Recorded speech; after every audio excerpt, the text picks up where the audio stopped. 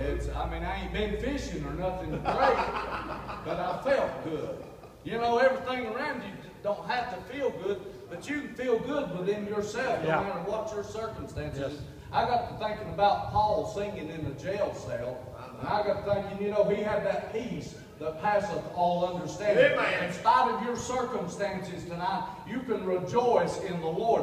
You can rejoice in this fact that He's allowed you to be in His house. tonight. Amen. You can rejoice in the fact that He's probably fed you something somewhere along this day. Yeah. You'll probably have a place to lay your head down tonight. Bless God, He said He didn't even have one to lay His head. Amen.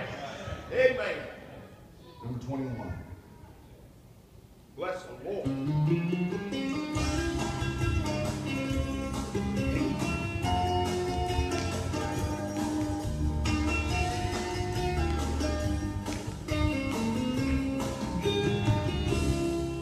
Lord, it's me again today, feeling hopeless and afraid, as this trial seems too much for me to bear.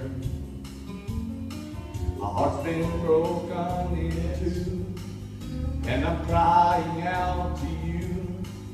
Lord, it feels like I can't find you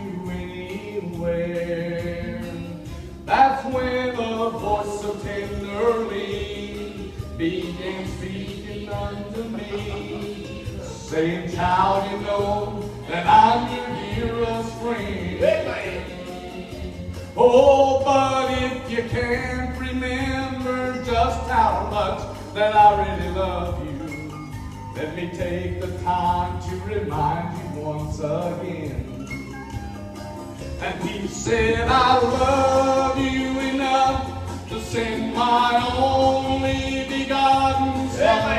to this so sinful world to bleed and die.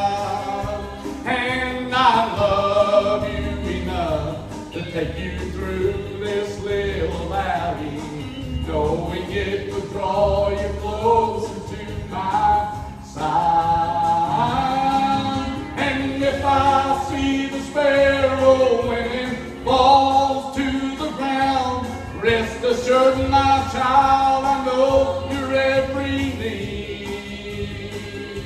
And I love you enough to complete my Amen. in you.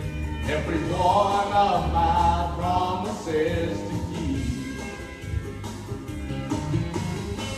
I just love the Lord. Amen. It's good to know Him. It's good to be able to call on Him. Yeah. It's good just to praise Him. Yeah.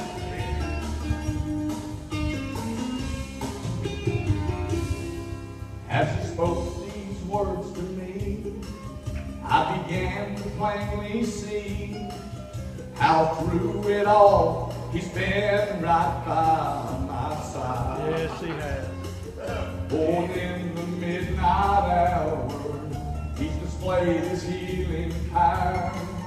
For the great physician always would pass by. Then I began to feel ashamed how I failed to praise his name and give thanks for all the blessings he's bestowed. Oh Lord, if it would be okay, I'd like to take the time today to tell you just how much I love you so. Lord, I love you enough to lift my hands in praises to me. Amen. And I love you enough to be faithful to your house, Lord, to my calling and to my family. I love you enough to stand boldly for you, Jesus,